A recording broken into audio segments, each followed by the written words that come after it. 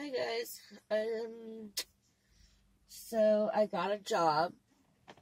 I don't know if I told you if I uh the hospital let me go the day that they released me to full duty. They all of a sudden um let me go on the last day. Uh anyways, it doesn't even matter. I I'm pretty sure that it's illegal to do that.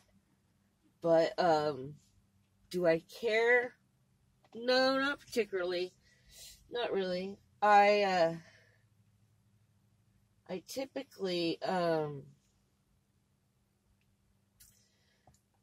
I felt good about that a person who was addicted to drugs and also uh had a, a, an, a pretty broad past as far as criminal activity. Um, I thought I felt good about myself that I was able to get in at that hospital, but but it's also a big trigger in the hospital because there's drugs everywhere. Uh, you know they're not they're not not sloppy with it. They're sloppy with their drugs that they leave laying around. It's it's a trigger. Um. Also, there's a lot of people there are who, who are on drugs themselves.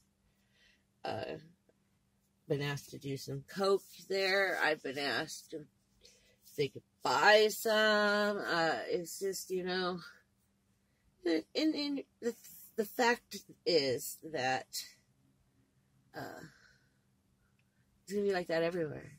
So I came to realization of that shortly before they let me go that uh, drugs are gonna be everywhere. Drugs are gonna be a trigger everywhere. So I needed to stop being a baby, stop making excuses, and go to work. Bam!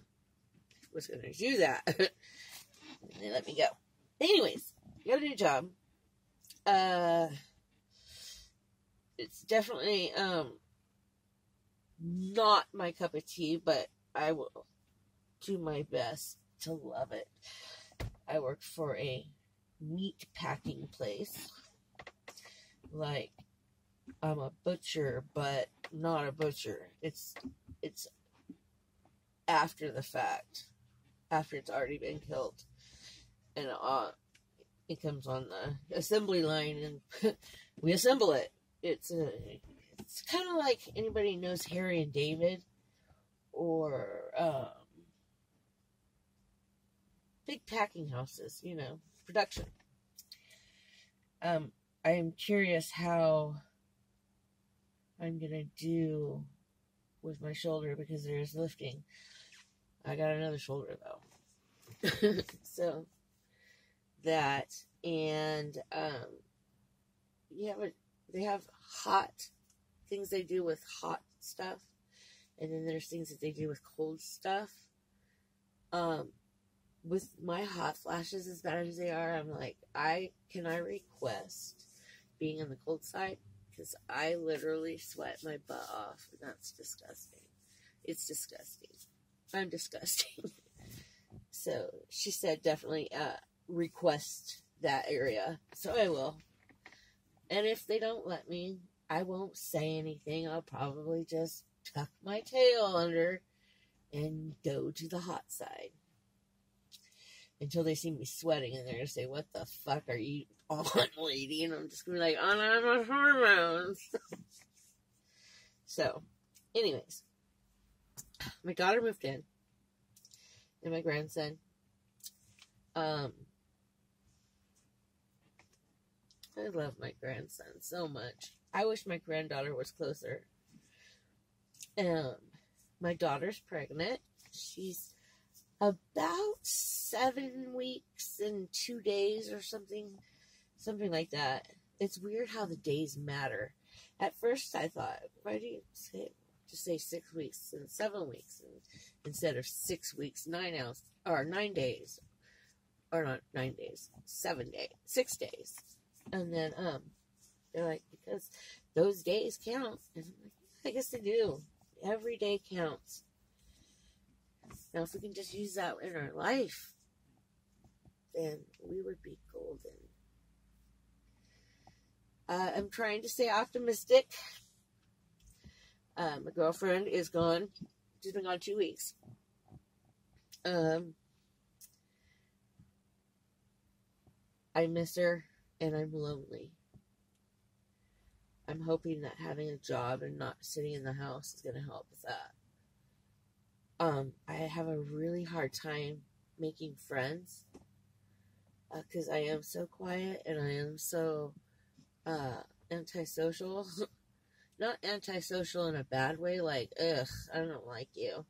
I'm very, very much a recluse and I stay to myself and I eat by myself. I usually, uh, like, will distance myself from everybody on purpose.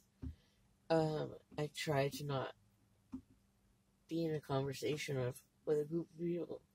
And I'm hoping this changes. This working with all these people might help me, or it's gonna make me crazy, one or the other.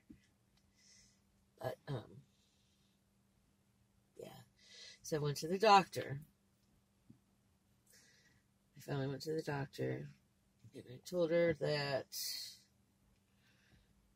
I firstly I told them I need a long appointment with her because I'm going over all my stuff and they were supposed to give me a long appointment and they didn't. But, but, she didn't rush me. She knew something was up and she didn't rush me. She was on it, and that's the first time. I think she was surprised I didn't ask her for painkillers too, but she did ask me how I was recovery, and I said, I'm kicking recovery's ass all over the place. Yeah anyways, so um, my doctor's appointment was very emotional. Um, I'm waiting to my insurance be, to be um, approved for an MRI of my brain. Um, uh, yeah, MRI of my brain because um, I don't know if I've talked to you about this, but uh, I'm having troubles um, that all point to bad things. And usually we just roll them out and she sends me home because, you know, I freak out easy. Once I hear something might be something, then it turns into this ordeal because I research everything to the point where there's no researching it left. And so I'm trying not to do that. I'm trying not to um, let it control my brain. so um, we're looking at, well, as what she said is, we're going to rule this out and then move on. And so we're ruling out the possibilities of ALS, Parkinson's, or Alzheimer's. Um, oh, and the, there's a growth inside of my ankle. That's separate, though. Uh, I'm really trying to um, not make this control my head. Uh, and it's driving me crazy because I have to wait for everything. I have to wait for authorization from the state because I have state care, and um, so I'm I'm literally telling myself it's nothing. Part of me wants just to cancel all the appointments and not even think about it. Done. But I know my symptoms are real the muscle twitching is so bad that I drop stuff all the time. Uh, the memory, it, my uh, memorizing stuff and whatnot is really bad. In fact, the kids get so pissed off because I forget everything. Even my grandson says, You can't remember nothing, Grandma. And I can't. and I'm hoping this is what I'm I think is happening. My brain has been on drugs for more than 20 like 25 years of drug use. Um of course these things are gonna be like this, Brandy. That's what I keep saying. Of course you're gonna be you beat your body up, Brandy. And so here it is. So there's nothing wrong with me.